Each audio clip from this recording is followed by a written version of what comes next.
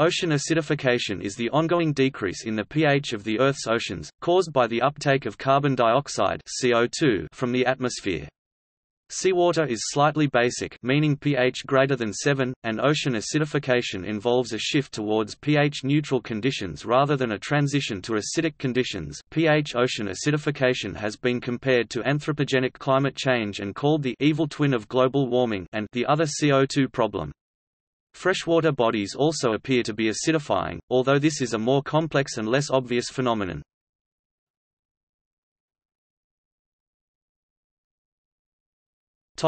Carbon cycle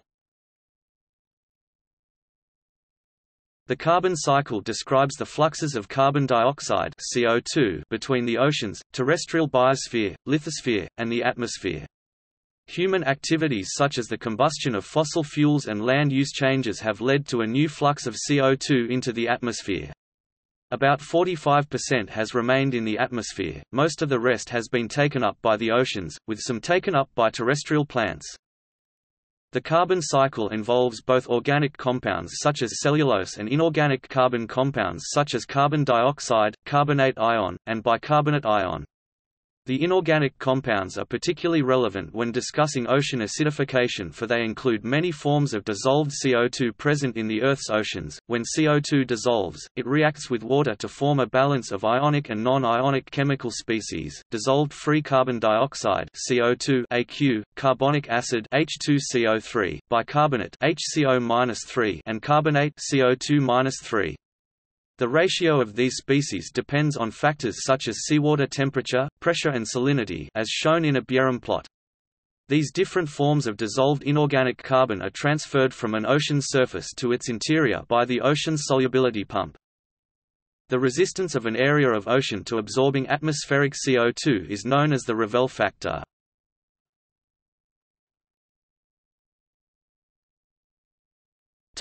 Acidification Dissolving CO2 in seawater increases the hydrogen ion H concentration in the ocean, and thus decreases ocean pH, as follows CO2 AQ plus H2O H2 CO3 HCO3 minus plus H plus CO32 minus plus 2H plus. Caldeira and Wickett 2003 placed the rate and magnitude of modern ocean acidification changes in the context of probable historical changes during the last 300 million years. Since the Industrial Revolution began, the ocean has absorbed about a third of the CO2 we have produced since then and it is estimated that surface ocean pH has dropped by slightly more than 0.1 units on the logarithmic scale of pH, representing about a 29% increase in H+. It is expected to drop by a further 0.3 to 0.5 picohenries units an additional doubling to tripling of today's post-industrial acid concentrations by 2100 as the oceans absorb more anthropogenic CO2, the impacts being most severe for coral reefs and the Southern Ocean. These changes are predicted to accelerate as more anthropogenic CO2 is released to the atmosphere and taken up by the oceans. The degree of change to ocean chemistry, including ocean pH, will depend on the mitigation and emissions pathways taken by society, although the largest changes are expected in the future. A report from NOAA scientists found large quantities of water undersaturated in aragonite are already upwelling close to the Pacific continental shelf area of North America, Continental shelves play an important role in marine ecosystems since most marine organisms live or are spawned there, and though the study only dealt with the area from Vancouver to Northern California, the authors suggest that other shelf areas may be experiencing similar effects.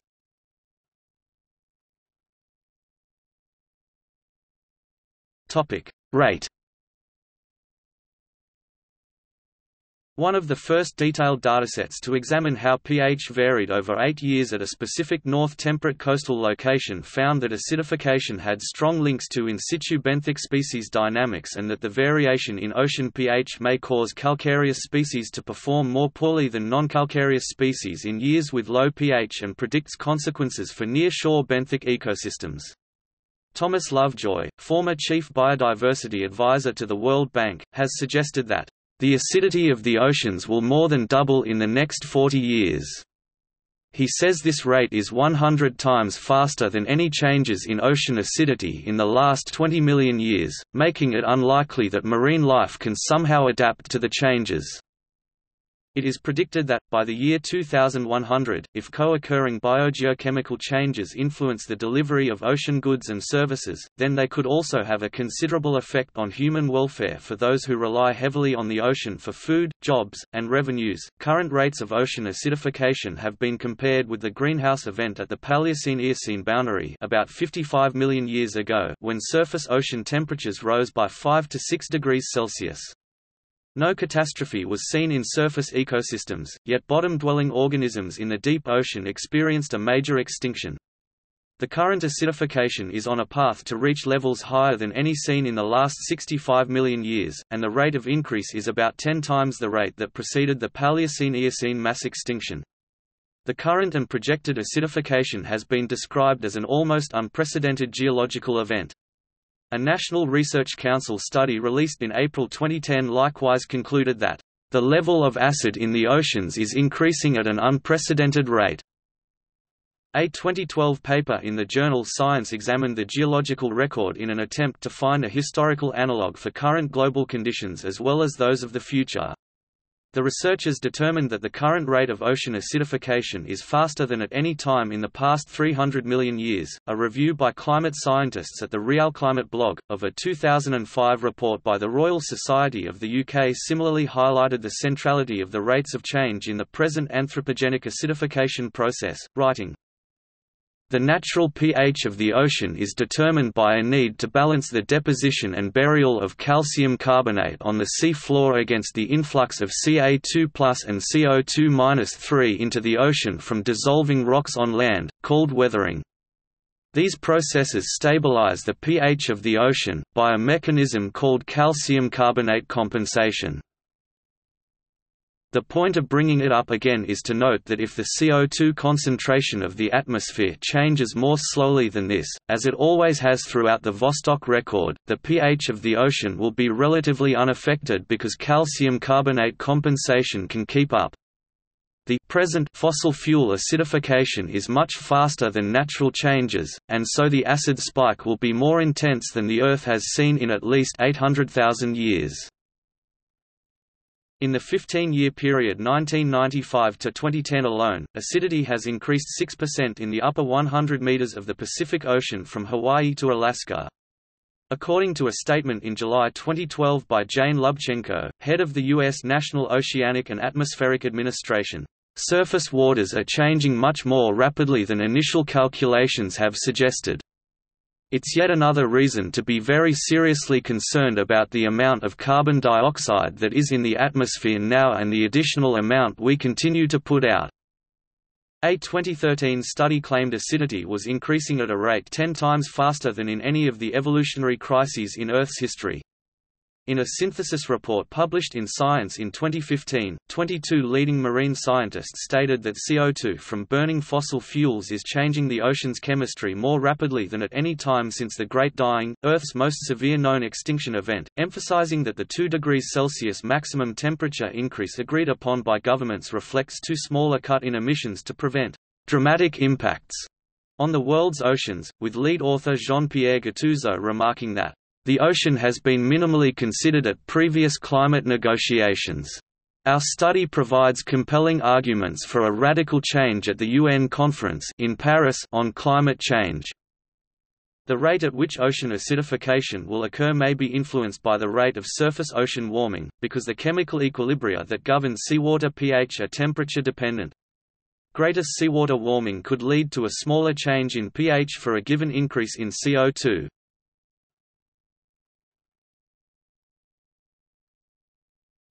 Topic: Calcification.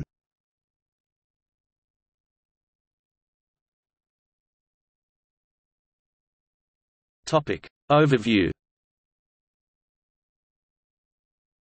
Changes in ocean chemistry can have extensive direct and indirect effects on organisms and their habitats. One of the most important repercussions of increasing ocean acidity relates to the production of shells and plates out of calcium carbonate, calcium carbonate. This process is called calcification and is important to the biology and survival of a wide range of marine organisms. Calcification involves the precipitation of dissolved ions into solid calcium carbonate structures, such as coccoliths. After they are formed, such structures are vulnerable to dissolution unless the surrounding seawater contains saturating concentrations of carbonate ions CO32-.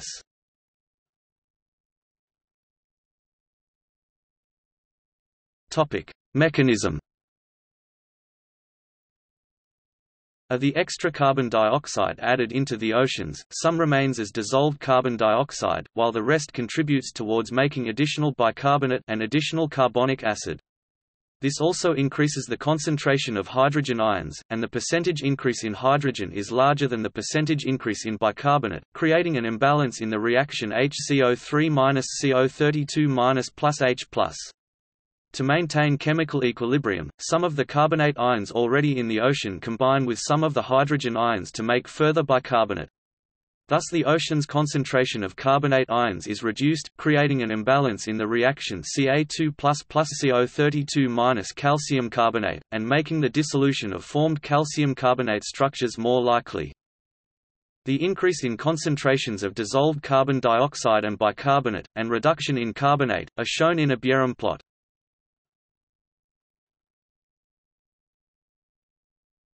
Topic: Saturation state. The saturation state known as omega of seawater for a mineral is a measure of the thermodynamic potential for the mineral to form or to dissolve, and for calcium carbonate is described by the following equation: omega equals Ca 2 plus CO 3 2 minus K S P display style omega equals frac left ce ca squared plus right left ce co3 squared right k underscore sp here omega is the product of the concentrations or activities of the reacting ions that form the mineral Ca2+ and CO2-3 divided by the product of the concentrations of those ions when the mineral is at equilibrium KSP, that is, when the mineral is neither forming nor dissolving. In seawater, a natural horizontal boundary is formed as a result of temperature, pressure, and depth, and is known as the saturation horizon. Above this saturation horizon, omega has a value greater than 1, and calcium carbonate does not readily dissolve. Most calcifying organisms live in such waters. Below this depth, omega has a value less than 1, and calcium carbonate will dissolve. However, if its production rate is high enough to offset dissolution, calcium carbonate can still occur where omega is less than 1. The carbonate compensation depth occurs at the depth in the ocean where production is exceeded by dissolution. The decrease in the concentration of CO32- decreases omega, and hence makes calcium carbonate dissolution more likely. Calcium carbonate occurs in two common polymorphs crystalline forms, aragonite and calcite. Aragonite is much more soluble than calcite, so the aragonite saturation horizon is always nearer to the surface than the calcite saturation horizon. This also means that those organisms that produce aragonite may be more vulnerable to changes in ocean acidity than those that produce calcite. Increasing CO2 levels and the resulting lower pH of seawater decreases the saturation state of calcium carbonate and raises the saturation horizons of both forms closer to the surface. This decrease in saturation state is believed to be one of the main factors leading to decreased calcification in marine organisms, as the inorganic precipitation of calcium carbonate is directly proportional to its saturation state.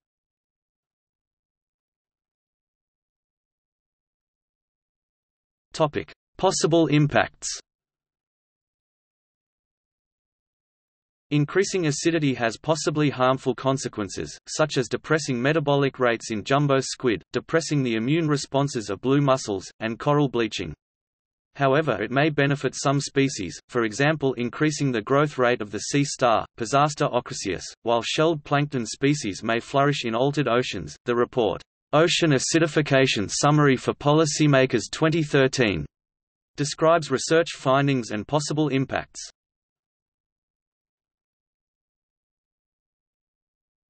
Topic: Impacts on oceanic calcifying organisms. Although the natural absorption of CO2 by the world's oceans helps mitigate the climatic effects of anthropogenic emissions of CO2, it is believed that the resulting decrease in pH will have negative consequences, primarily for oceanic calcifying organisms. These span the food chain from autotrophs to heterotrophs and include organisms such as coccolithophores, corals, foraminifera, echinoderms, crustaceans and mollusks. As described above, under normal conditions, calcite and aragonite are stable in surface waters since the carbonate ion is at supersaturating concentrations. However, as ocean pH falls, the concentration of carbonate ions required for saturation to occur increases, and when carbonate becomes undersaturated, structures made of calcium carbonate are vulnerable to dissolution. Therefore, even if there is no change in the rate of calcification, the rate of dissolution of calcareous material increases. Corals, coccolithophore algae, coralline algae, foraminifera, shellfish and pteropods experience reduced calcification or enhanced dissolution when exposed to elevated CO2. The Royal Society published a comprehensive overview of ocean acidification, and its potential consequences, in June 2005.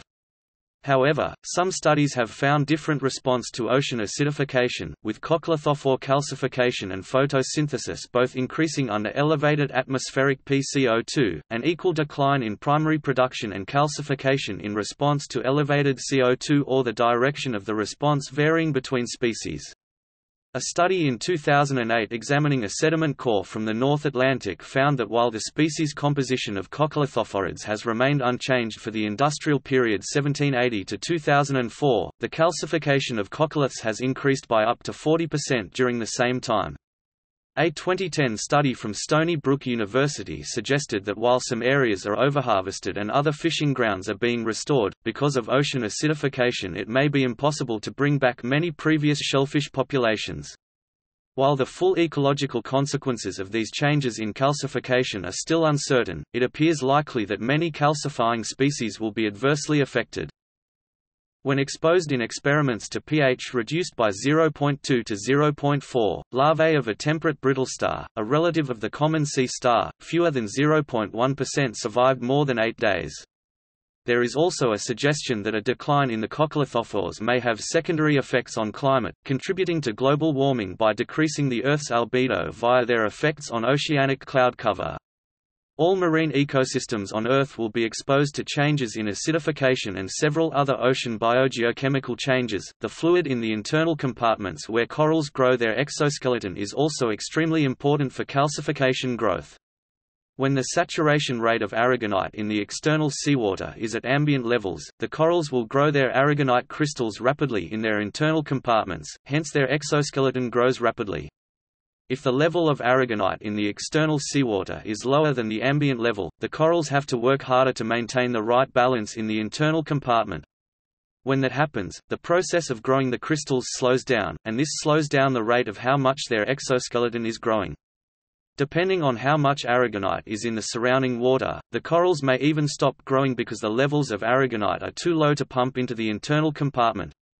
They could even dissolve faster than they can make the crystals to their skeleton, depending on the aragonite levels in the surrounding water. Under the current progression of carbon emissions, around 70% of North Atlantic cold water corals will be living in corrosive waters by 2050 to 60. A study conducted by the Woods Hole Oceanographic Institution in January 2018 showed that the skeletal growth of corals under acidified conditions is primarily affected by a reduced capacity to build dense exoskeletons, rather than affecting the linear extension of the exoskeleton.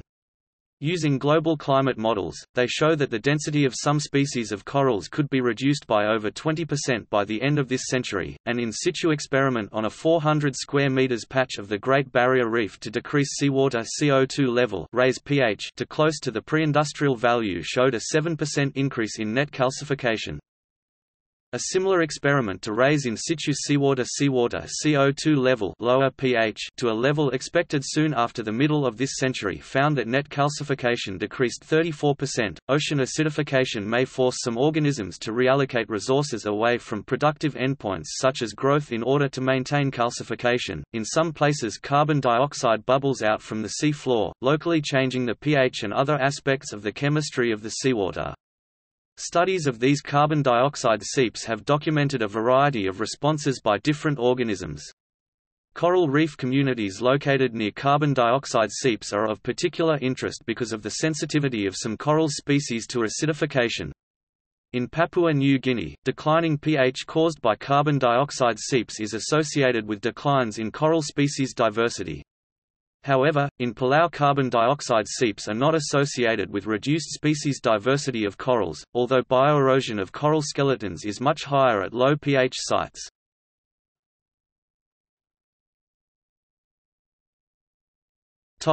Effect on reef fish With the production of CO2 from the burning of fossil fuels, oceans are becoming more acidic since CO2 dissolves in water and forms the acidic bicarbonate ion. This results in a pH drop which then causes corals to expel their algae with which they have a symbiotic relationship with, causing the coral to eventually die due to a lack of nutrients. Since corals reefs are one of the most diverse ecosystems on the planet, coral bleaching due to ocean acidification could result in a major loss of habitat for the many species of reef fish, resulting in increased predation and the eventual endangered classification or extinction of countless species. This will ultimately decrease the overall diversity of fish in marine environments, which will cause many predators of reef fish to die off since their normal supply of food was cut off. Food webs in coral reefs will also be greatly impacted because once a species goes extinct or is less prevalent, their natural predators will lose their primary food source causing the food web to collapse in on itself. If such an extinction event occurred in our oceans, it will greatly affect humans since much of our food supply is reliant on fish or other marine animals. Ocean acidification due to global warming will also change the reproductive cycles of reef fish who normally spawn during late spring and fall. On top of this, there will be increased mortality rates among the larvae of coral reef fish since the acidic environment slows down their development. The hypothalamo-pituitary gonadal (HPG) axis is one of the regulatory sequences in fish for reproduction, which is mainly controlled by surrounding water temperature. Once a minimum temperature threshold is reached, the production of hormone synthesis increases significantly, causing the fish to produce mature egg and sperm cells. Spawning in the spring will have a shortened period, while fall spawning will be delayed substantially. Because of the increased CO2 levels in the ocean from coral bleaching, there will be a substantial decrease in the number of young reef fish that survive to maturity. There is also evidence that shows that embryo and larval stage fish have not matured enough to express the appropriate levels of acid-base regulation that is present in adults. These will ultimately lead to hypoxia due to the Bohr effect driving oxygen off of hemoglobin. This will lead to increased mortality as well as impaired growth performance for fish in slightly acidic conditions relative to the normal proportion of acid dissolved in marine water. In addition, ocean acidification will make fish larvae more sensitive to the surrounding pH since they are more sensitive to environmental fluctuations than adults. In addition, larvae of common prey species will have lower survival rates, which in turn will eventually cause the species to become endangered or extinct. Also, elevated CO2 in marine environments can lead to neurotransmitter interference in both predator and prey fish which increases their mortality rate. It has also been shown that when fish spend considerable time in high concentrations of dissolved CO2 up to 50,000 microatmospheres of CO2 in marine environments, cardiac failure leading to death is much more common than in normal CO2 environments. In addition, fish that live in high CO2 environments are required to spend more of their energy to keep their acid-base regulation in check. This diverts precious energy resources from important parts of their life cycle such as feeding and mating to keep their osmoregulatory functions in check. Another important consequence of ocean acidification is that endangered species will have fewer places where their eggs are laid. For species with poor larval dispersal, it puts them at a greater risk of extinction because natural egg predators will find their nests or hiding places and eat the next generation.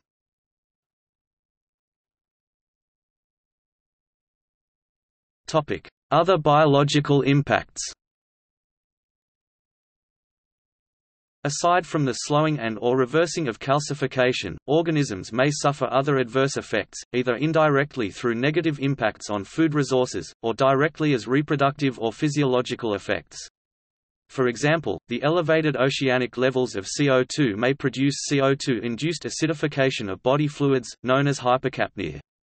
Also, increasing ocean acidity is believed to have a range of direct consequences.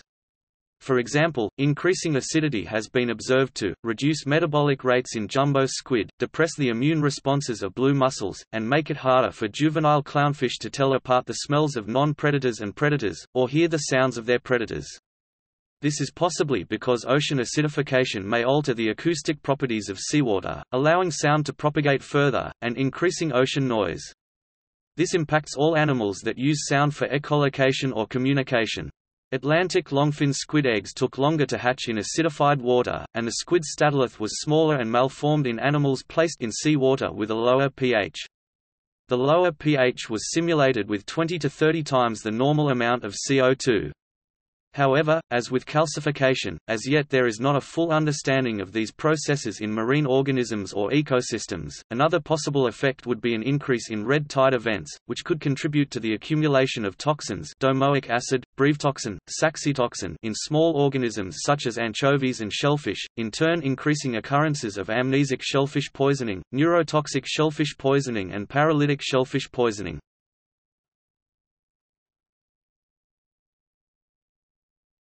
Topic: Ecosystem impacts amplified by ocean warming and deoxygenation. While the full implications of elevated CO2 on marine ecosystems are still being documented, there is a substantial body of research showing that a combination of ocean acidification and elevated ocean temperature, driven mainly by CO2 and other greenhouse gas emissions, have a compounded effect on marine life and the ocean environment. This effect far exceeds the individual harmful impact of either. In addition, ocean warming exacerbates ocean deoxygenation, which is an additional stressor on marine organisms, by increasing ocean stratification, through density and solubility effects, thus limiting nutrients, while at the same time increasing metabolic demand. Meta-analyses have quantified the direction and magnitude of the harmful effects of ocean acidification, warming and deoxygenation on the ocean. These meta-analyses have been further tested by mesocosm studies that simulated the interaction of these stressor and found a catastrophic effect on the marine food web, i.e. that the increases in consumption from thermal stress more than negates any primary producer to herbivore increase from elevated CO2.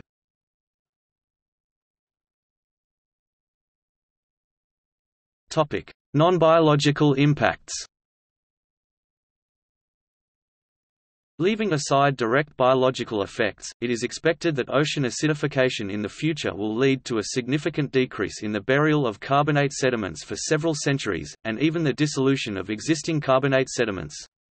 This will cause an elevation of ocean alkalinity, leading to the enhancement of the ocean as a reservoir for CO2 with implications for climate change as more CO2 leaves the atmosphere for the ocean.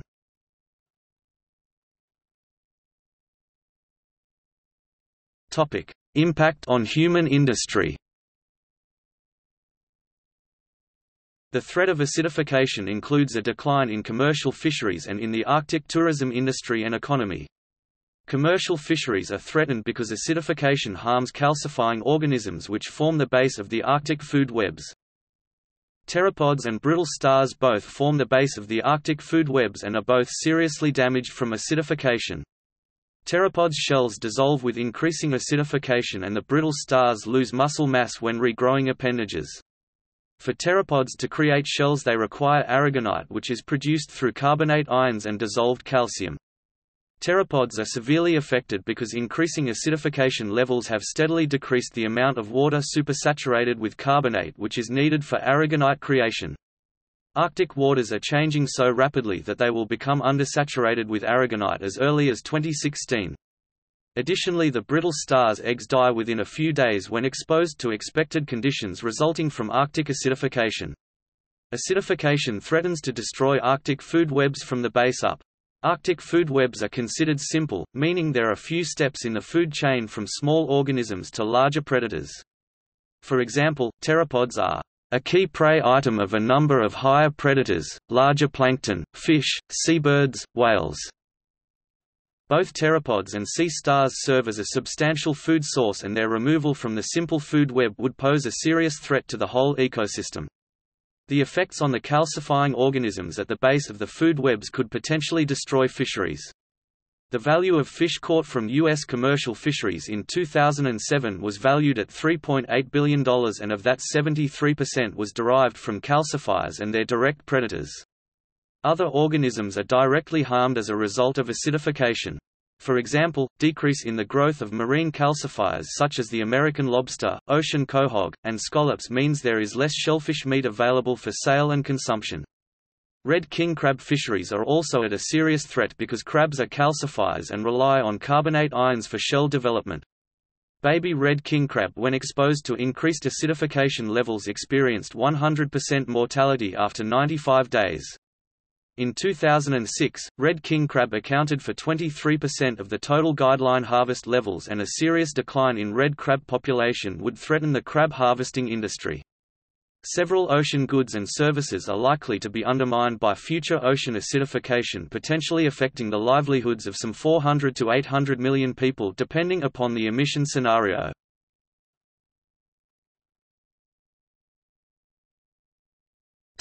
Impact on indigenous peoples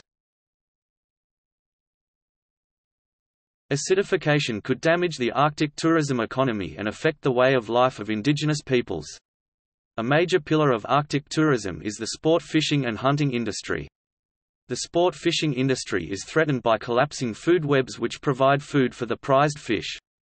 A decline in tourism lowers revenue input in the area, and threatens the economies that are increasingly dependent on tourism. The rapid decrease or disappearance of marine life could also affect the diet of indigenous peoples.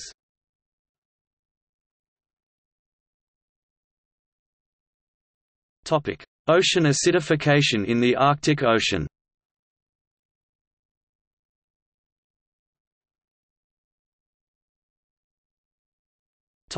Possible responses.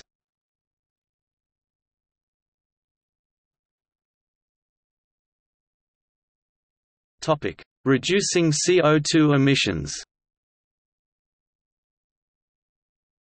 Members of the Interacademy panel recommended that by 2050, global anthropogenic CO2 emissions be reduced less than 50% of the 1990 level. The 2009 statement also called on world leaders to Acknowledge that ocean acidification is a direct and real consequence of increasing atmospheric CO2 concentrations, is already having an effect at current concentrations, and is likely to cause grave harm to important marine ecosystems as CO2 concentrations reach 450 parts per million ppm and above. Recognize that reducing the build-up of CO2 in the atmosphere is the only practicable solution to mitigating ocean acidification. Reinvigorate action to reduce stressor, such as overfishing and pollution, on marine ecosystems to increase resilience to ocean acidification. Stabilizing atmospheric CO2 concentrations at 450 ppm would require near-term emissions reductions, with steeper reductions over time. The German Advisory Council on Global Change stated, in order to prevent disruption of the calcification of marine organisms and the resultant risk of fundamentally altering marine food webs, the following guardrail should be obeyed. The pH of near-surface waters should not drop more than 0.2 units below the pre-industrial average value in any larger ocean region nor in the global mean. One policy target related to ocean acidity is the magnitude of future global warming. Parties to the United Nations Framework Convention on Climate Change UNFCCC adopted a target of limiting warming to below 2 degrees Celsius, relative to the pre-industrial level. Meeting this target would require substantial reductions in anthropogenic CO2 emissions. Limiting global warming to below 2 degrees Celsius would imply a reduction in surface ocean pH of 0.16 from pre-industrial levels. This would represent a substantial decline in surface ocean pH. On September 25, 2015, US EPA denied a June 30, 2015, citizens petition that asked EPA to regulate CO2 under TSCA in order to mitigate ocean acidification. In the denial, EPA said that risks from ocean acidification were being more efficiently and effectively addressed under domestic actions, e.g., under the Presidential Climate Action Plan, and that multiple avenues are being pursued to work with and in other nations to reduce emissions and deforestation and promote clean energy and energy efficiency.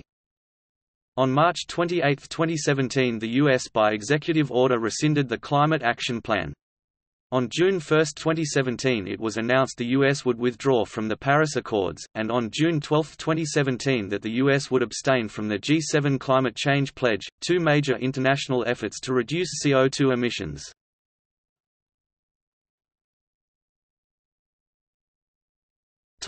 Climate engineering Climate engineering mitigating temperature or pH effects of emissions has been proposed as a possible response to ocean acidification.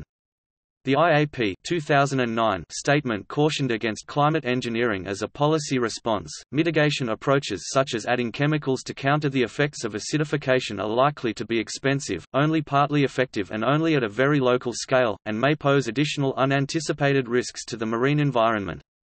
There has been very little research on the feasibility and impacts of these approaches.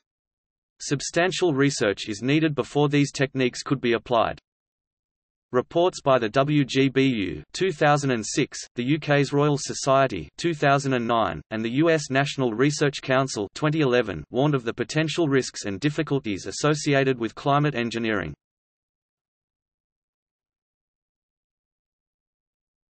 Topic: Iron fertilization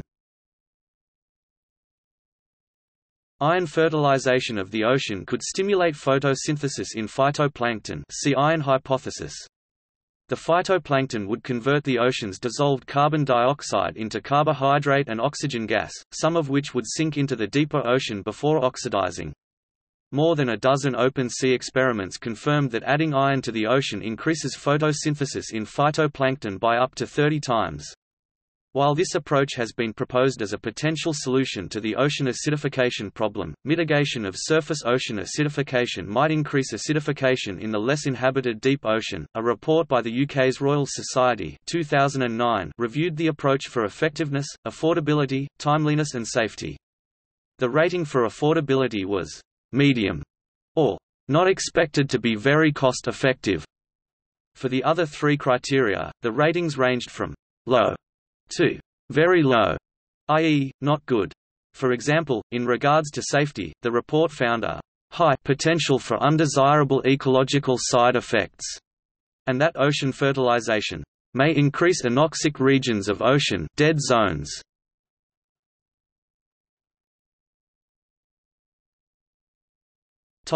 Gallery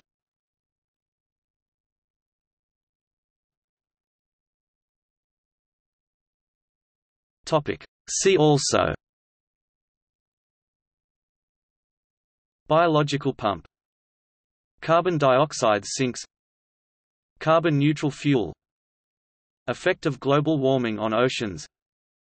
Estuarine acidification. Ocean deoxygenation. Holocene extinction. BIOACID biological impacts of ocean acidification